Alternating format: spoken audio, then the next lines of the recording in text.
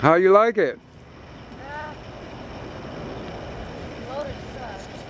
I know I need a different motor, and I know which motor to put. What motor do you need?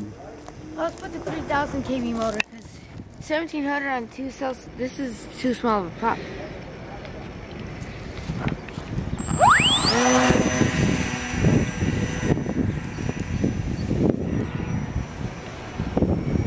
It's controllable. Ain't it?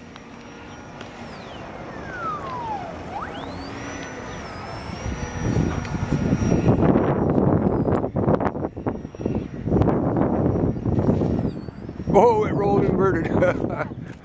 How did that happen? Huh?